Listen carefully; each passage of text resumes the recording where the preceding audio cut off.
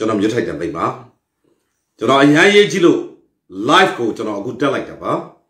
ဆိုတော့အဓိကကစည်ရေးသတင်းမှာကျွန်တော် calling ဖတ်နော်မနှက်ပြန်ပေါ့မြန်မာပြည်မှာဆိုလို့ရှိရင်အခုရောက်နေပါပြီ26ရက်နေ့အရန်မဲ့ဆွင့်ရတဲ့အနေအထားရှိပါတယ်ကျွန်တော်ကအဲ့ calling ဘက်ကကျွန်တော်တို့ဒီ local PDF တွေပေါ့နော်အဲ့ဒီကခေါင်းဆောင်တွေကနော်ဆိုဆက်သွယ်ပြီးတော့သတင်းပေးလာတာရှိပါတယ်ပြောပြလာတာရှိပါတယ် ဆိုတော့ပြည်သူလူထုကိုလည်းကျွန်တော်အဲ့ဒါကိုတင်ပြချင်ပါတယ်ဆိုတော့အဓိကကကောလစ်ဘက်မှာ26ရက်နေ့မနက်ပိုင်းကျွန်တော်တို့စိုးရင်ရတယ်စစ်တပ်ကအင်အားအလုံးကြီးနဲ့25ရက်နေ့မှာတက်လာတယ်ဆိုတော့ဒါကြောင့်မလို့ကောလင်ဘက်မှာနော်ဖြစ်နေတဲ့အနေအထားတွေကိုကျန်တဲ့ဒေသတွေကနေပြီးတော့ဝိုင်းပြီးတော့ကူညီလို့ရအောင်လို့ကျွန်တော်ဒါလေးကိုတင်ပြခြင်းဖြစ်ပါတယ်ဒီကျွန်တော်တို့အဲ့ဒေသဆိုင်ရာခေါင်းဆောင်ပေါ့နော်သူကိုယ်တိုင်ပြောပြထားတဲ့သတင်းရဆိုရင် ကောလင်ဝင်းသူပင်လယ်ဘူးဘက်ကိုစစ်ခွေးတွေအင်အား300လောက်တိုက်ဖို့တိုက်ဆက်စင်နေတယ်ဆိုတော့ကျွန်တော်မနေ့ကတင်ပြခဲ့တာရှိပါတယ်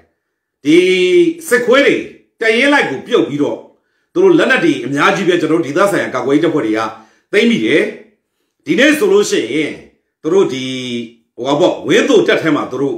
နော်တရားတွေသူတို့လောက်ကြတယ်အာသုဘချတယ်ပေါ့ဆိုတော့ဟိုကောင်တွေဘက်ကတရင်လိုက်ကိုပြုတ်တယ်ဒီဘက်ကကျွန်တော်တို့ local PDF တွေကစော်လိုက်တာ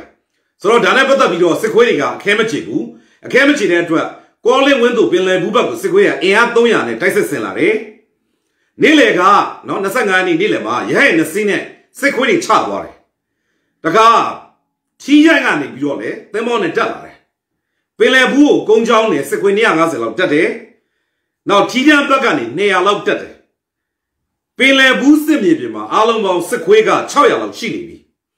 ဆိုတော့ကျွန်တော်တို့အဲ့ကဒေသဆိုင်ရာเนาะ PDF တွေအတွက်ကိုเนาะ LDF တွေအတွက်ကိုအရန်စွန့်ရတဲ့အနေအထားရှိတယ်မော်လူဘက်ကလည်း90လောက်တက်လာတယ်လို့ပြောတယ်ဆိုတော့စစ်ခွေးတွေက25ရက်နေ့ကပင်လယ်ဘူးမှာအဝင်ပြပြီးတဲ့အခါကျတော့ဝမ်းတို့စစ်တပ်ထဲသွားအာတုပကိုသွားအဲ့လိုလုပ်တယ်နောက်နေ့လေအားကျတော့ပင်လယ်ဘူးတောထဲမှာရဟရင်နဲ့စစ်ခွေးတွေချထားတယ်တရင်ပေးပါတယ်ဆိုတော့အဲ့ဒီနဲ့မလန်းမကမ်းမှာနော် fighter jet နဲ့လည်းဘုံကျဲသွားတယ် ဘုံကျဲသွားပြီးတော့မလုပ်လဲဆိုတော့ခုနရဟရင်နဲ့ချထားတဲ့စစ်ခွေးတွေကရွာကို၆လန့်ပြီးတော့ပြစ်ပြီးတော့ရွာတွေကအိမ်နဲ့အိမ်သုံးအိမ်ကိုလည်းမီးရှို့သွားတယ်ဆိုတော့မနှက်ပြန်မနှက်ပေါ့အခုဆိုရင်မြန်မာပြည်မှာမနှက်ရောက်နေပါပြီမနှက်ပိုင်းမှာအာယုံကြက်ပိုင်းနေပေါ့နော်ဆိုတော့ဟိုကောလင်းအချိန်တွေကစိုးရင်ရတယ်ဆိုဆိုလိုချင်တာကကောလင်းဝင်းသူပင်လည်းဘူးစိုးရင်ရတယ်ဆိုတော့ကျွန်တော်တို့စိုးရင်တာကလေမြန်နဲ့ဘုံကျဲပြီးတော့နော်သူတို့ ဟိုကြားတက်ထိုးမာတို့နော်ဝင်ပြီးတော့တိုက်စစ်စင်မာတို့ကျွန်တော်တို့အရင်စိုးရင်ပါတယ်ဒါကြောင့်မလို့ဒီ calling ကိုနိုင်သလောက်ပေါ့ဗျာအဲ့ဘက်ဒေသတွေဆက်ဆက်နေတဲ့ local PDF တွေနောက်အဲ့ဘက်မှာရှိတဲ့ PDF တွေတိုင်းရင်းသားလက်နက်ကင်တွေပြည်သူတွေအနေနဲ့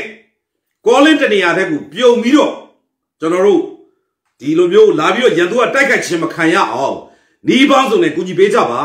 အရာမဲ့အရေးကြီးလို့ဒီဗီဒီယိုနဲ့ဒီ live ဗီဒီယိုနဲ့ ဒီ information ကိုလည်း share ပေးကြပါဆိုပြီးတော့ကျွန်တော်တင်ပြချင်ပါတယ်ဒါကအရန်အရေးကြီးလို့ဒေသကကျွန်တော်တို့ on the ground ကခေါင်းဆောင်တွေကိုယ်တိုင်ကအကူအညီတောင်းလာလို့ဒီစည်ရေးအနေထားကိုကျွန်တော်အခုချက်ချင်းတင်ပြခြင်းဖြစ်ပါတယ်ဒါကြောင့်မလို့အားလုံးပဲမြန်မာပြည်အနက်မှာရှိတဲ့ပြည်သူတွေကဘာအနက်မှာရှိတဲ့ပြည်သူတွေ calling back ကိုအချိန်မီကျွန်တော်တို့ကူမရမယ် calling ဝင်းတို့ပင်လဘူးအဲ့ဘက်ဒေသတွေကိုကျွန်တော်တို့အာယုံစိုက်တာမဖြစ်အောင်လို့နီးပေါင်းစုံနဲ့ကူညီကြပါ ကျွန်တော်တို့ဒေသဘောင်းစုံကဝိုင်းပြီးတော့ကျွန်တော်တို့ရတဲ့နီးနဲ့တိုက်စစ်ဆင်ပေးပါလို့ကျွန်တော်အနေနဲ့တင်ပြတောင်းဆိုချင်ပါတယ်ဒီဗီဒီယိုဒီသတင်းလေးကိုလည်းကျွန်တော်တို့အတက်နိုင်ဆုံးဝိုင်းရှယ်ပေးကြပါကျွန်တော်တို့ဒေသဆိုင်ရာခေါင်းဆောင်တွေအတွက်ကိုအရန်မဲ့အရေးကြီးနေလို့သူတို့ကိုယ်တိုင်ကနေပြီးတော့ပြောလာလို့အကူကြီးတောင်းလာလို့ကျွန်တော်အခုပြောပြခြင်းဖြစ်ပါတယ်အရေးတော်ဘုံမုတ်ချအောင်မယ်ကျွန်တော်တို့ပူပေါင်းစွမ်းနဲ့လောက်ကြမယ်ကျွန်တော်တို့နိုင်ကိုနိုင်ရမယ်